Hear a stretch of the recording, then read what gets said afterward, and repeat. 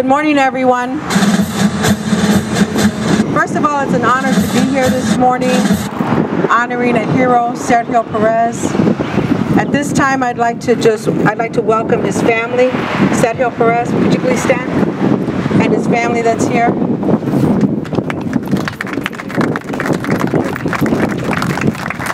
And just to let you know, we are also celebrating uh, Sergio Perez's birthday. His dad tells me he would have been 22 years old today. Um, oh, I'm 23 years old. Okay. I'd like to uh, recognize all the officers present who have served in the armed forces. Please step forward. If you could step forward, please. We also honor them today and thank them for their service to our country.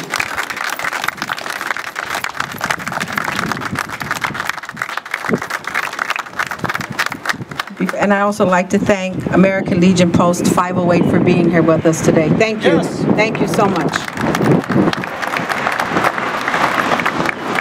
And I know that we're all here today because we- we're trying to, we are trying, we are honoring our hero Sergio Perez who gave his, who gave his life for this country. At this time, I'd also like to introduce our dignitaries that are here, our elected officials. Could you please stand? I thank you very much for being here. Stacy Winfield, Precinct Committee Woman. Gilda Orange, Councilwoman, 6th District. Christine Cid, Lake County Councilwoman.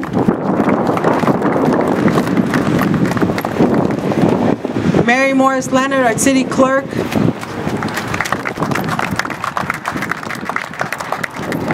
I also would like to bring greetings from Mayor Anthony Copeland, who couldn't be here today. He's out of town um, on business. Okay. At this time, I also want to thank all the department heads, Deputy Chief Verbiage, Fire Chief Perez, and all other um, administration that's here. Thank you so much for joining us today. And I see our city clerk, Mary Morris Leonard, has arrived.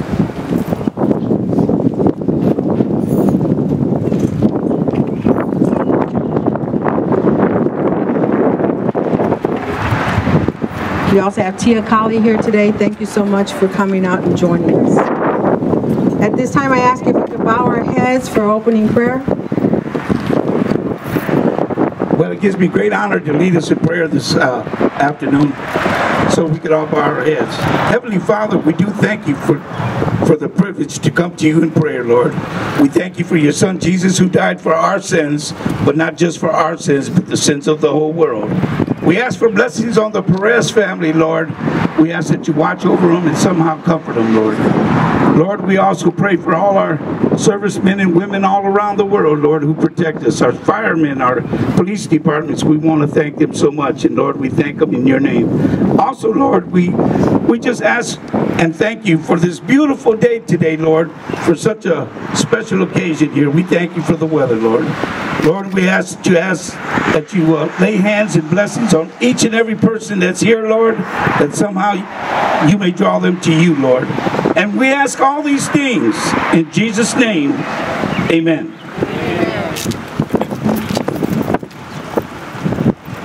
I also would like to recognize State Representative Earl Harris, wife, Mrs. Harris, who is here representing our state representative.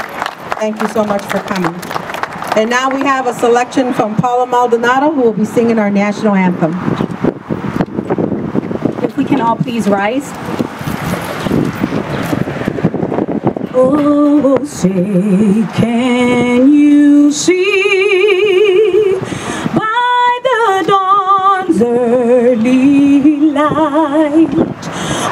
so proudly we hailed at the twilight's last gleaming, whose broad stripes and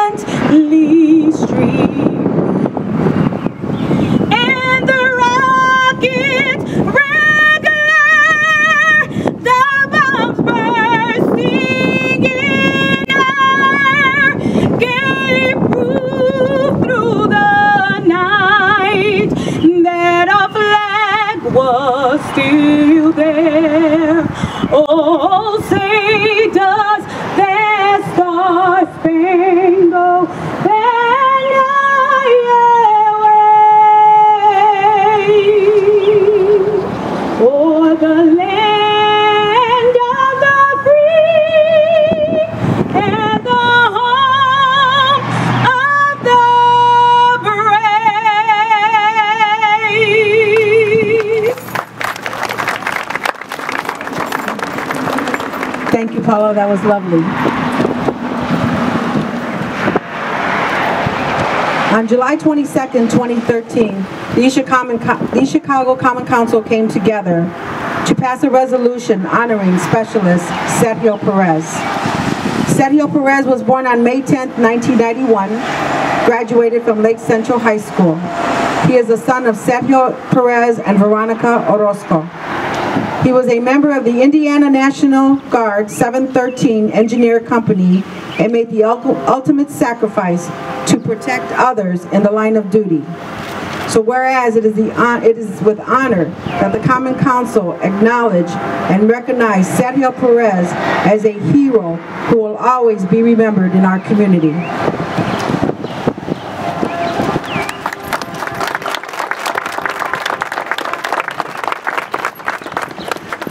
At this time, I'm going to ask Sergio's father um, to come forward to say a few words. I believe he might be saying them in Spanish, but we'll translate them for him. You want me to translate? Good morning, everybody. Thank you so much for everybody to show up, and um, really feels feels good about to see everybody like a family. It's been like an honor for me to have uh, my son's name on the street, right at this corner, so everybody, especially the kids, be able to see that sign and memory, a nice memory for them, for us to.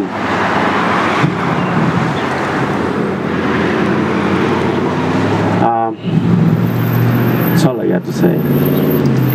Thank you, everybody.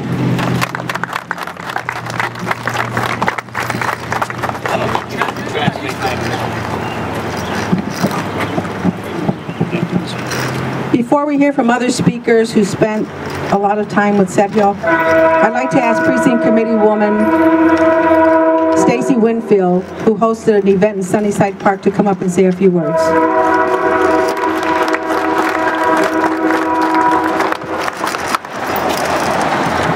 You, Councilwoman Vasquez. Giving honor to God, who's ahead of my life and many of our lives out today.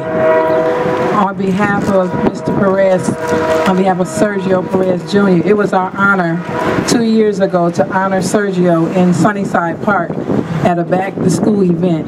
Each year, we honor someone ahead that has done great things in our community. And we know that Sergio fought for our country and he gave his life for us all.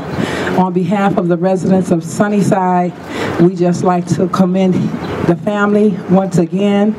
Uh, I don't know if this is the grandmother that I was speaking, sitting next to, that was shedding tears. On that day, we shed tears in the park as we released the balloons. As she shed tears next to me, she bring tears to my eyes once again. So I say to Ms. Vasquez, thank you and the Common Council for making this day a special event for the Perez family. I'm sure they appreciate you and everything that you've done to make this event a complete day. Thank you. Thank you so much, Stacy.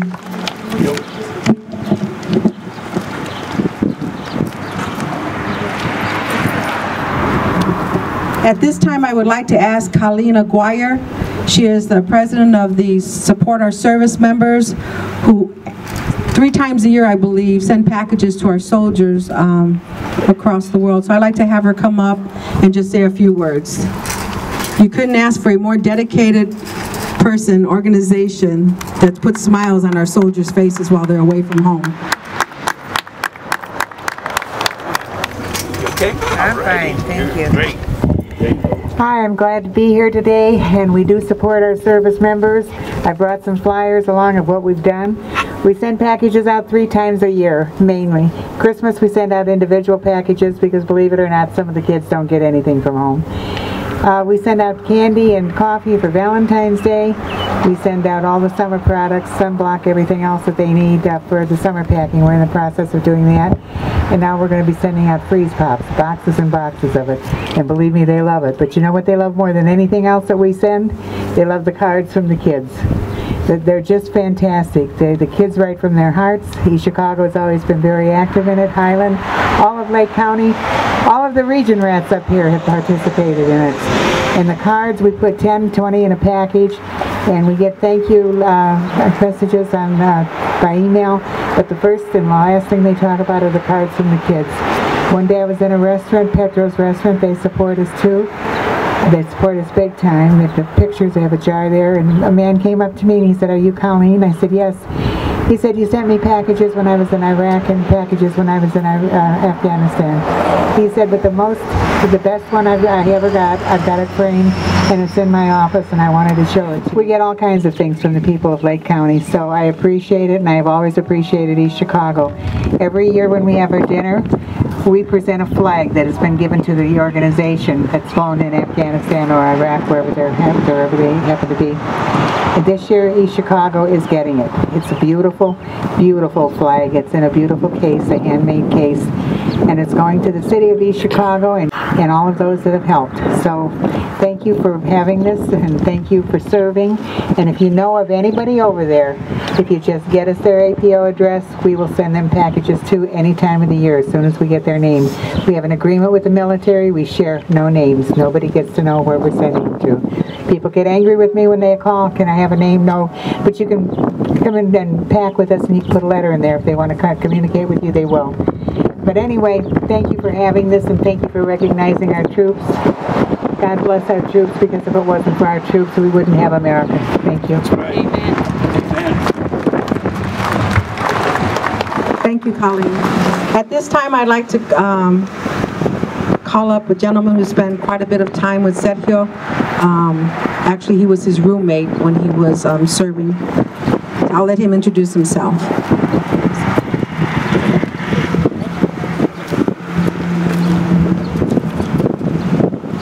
Hello. Um, most of the Perez family knows me. I'm Specialist Voorhees. Um, I spent a lot of time with Perez. Uh, he was my roommate for eight months. A lot of missions with him. Went outside the wire with him a lot of times. Uh, he put his life in my hands, and I put my life in his hands um, plenty of times.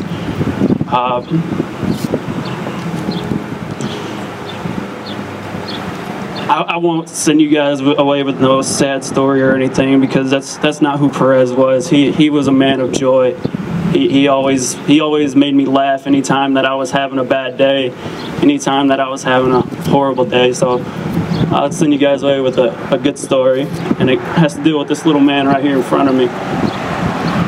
On January 13, 2012, we were deployed southern Afghanistan, Kandahar, and we are sitting in our shoes, and my wife was nine months pregnant, and every 10 minutes, Sergio would come into the room and he'd go, Is he here yet? Is he here yet? Go, No, not yet, Sergio.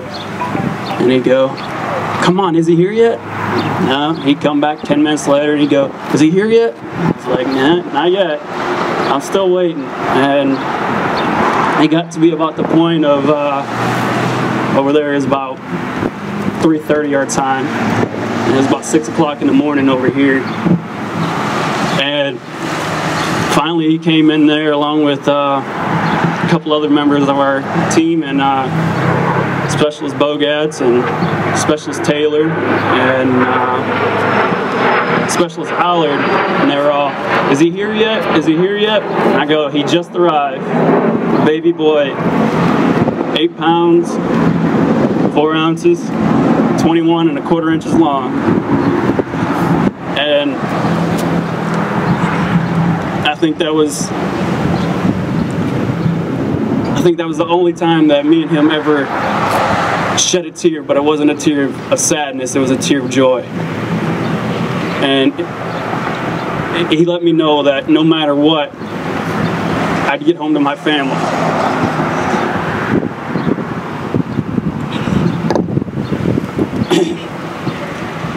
and I promised him the same thing.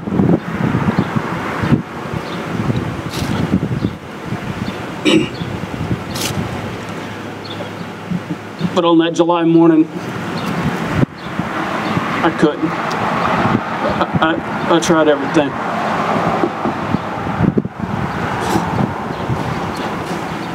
It's about 11 o'clock in the morning as we went through the village and we cleared the village and I, I tried my best and they had us. And we, we gave them what we had though, so don't think that he went down without a fight. That wasn't the man he was. He, he gave him a fight. And every time I look in my little boy's eyes, I always see Sergio. His little blue eyes look at me up, up look at me all the time, and I look at him and I, and I see Sergio because I know without Sergio, those eight months of going outside the wire, those endless weeks, and those endless missions that we thought we'd never get through. And he always brought me through the wire. We'd always get in the wire, we'd put our stuff down, we'd go to chow, and we'd hang out, we'd watch movies. He'd ask me how the family's doing, I'd ask him how his family's doing, but I just want to let the Perez family know and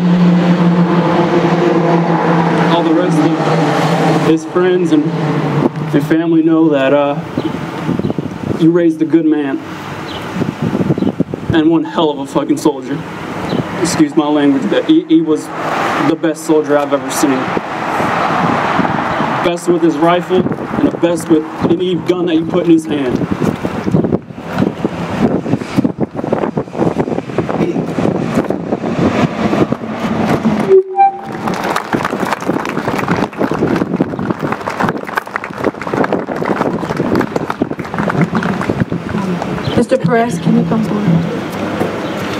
Before we ask uh, Post 508 to um, honor us, um,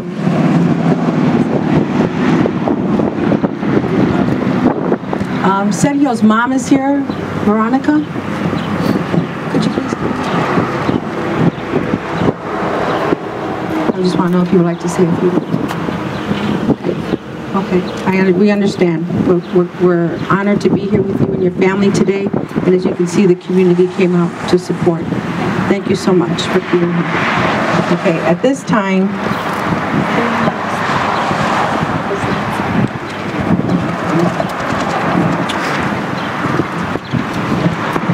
at this time, we would like to present the honorary street sign for Sergio E. Perez uh, to be presented to the family.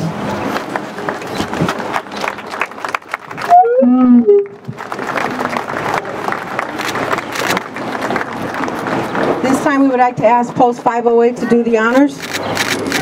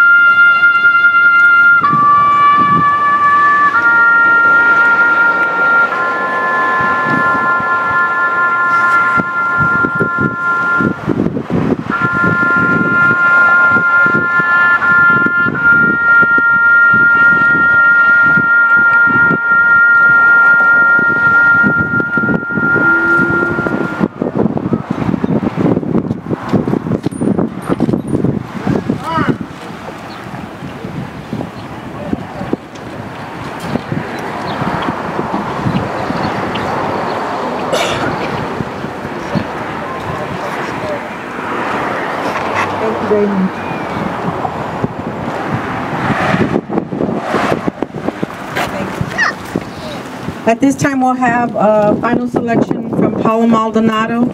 And for those of you that are holding balloons, when you feel it in your heart, please release the balloons, okay? And after that, we will end the program with a closing prayer.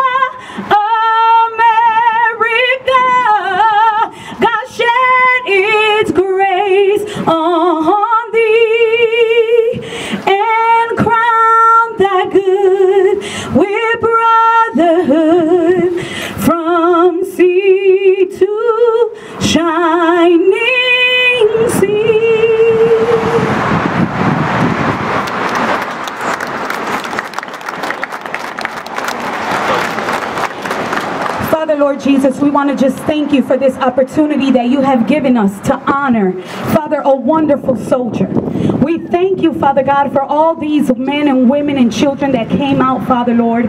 We ask that you will be with us, Father God, that your peace that surpasses all understanding will guide us on a day-to-day basis. In your mighty and precious name, we thank you and we praise you. Amen. Okay, that concludes our ceremony. We want to thank everybody for being here today and helping us honor a hero. Thank you so much for being here. Hey, listen, before we leave, somebody give somebody a handshake or a hug. Ah. Say, I'm glad you're here.